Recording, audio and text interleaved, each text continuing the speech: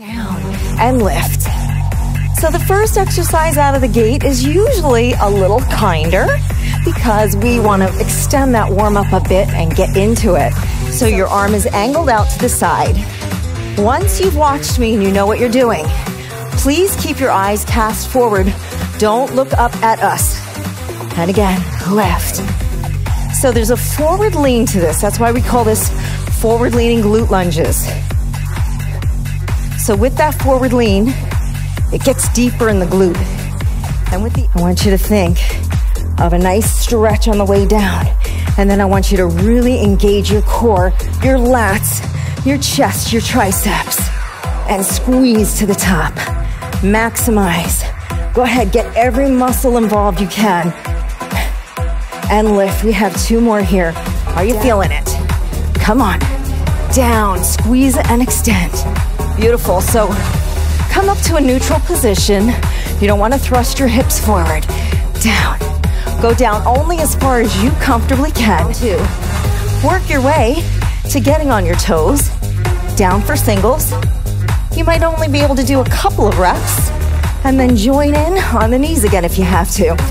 Now, as you go down, there is a slight lean forward, slight. But I still want you to keep those shoulders over the hips. So we're not rounding down and getting sloppy.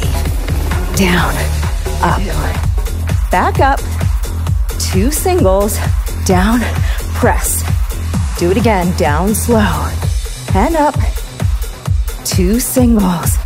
Oh yeah. Three, so you wanna sink down into it. Four, come on. Five, and lift. Six, ah, working against that gravity. Any day this gets too light, I want you to grab something heavier. Come on, pull up. All 12 reps should be challenging. Lift, two, and up. Three. So your right leg is on the bench, left leg on the floor, challenging that left glute. Do you feel it? Side to front. Excellent. Perfect. Here's number four. And front and down. Lift shoulders over the hips though. Don't round the shoulders. Here comes number eight. Up. And nine. Stay focused. Don't let that mind wander. Come on. We're in it to win it. Let's go. So the beauty of this workout is you get to keep moving, keep breathing hard and heavy, keep conditioning your heart, but you take turns. Upper body gets tired, so you move to lower. Then when the lower body gets tired, you move to upper. Three. And up. Two more. Down.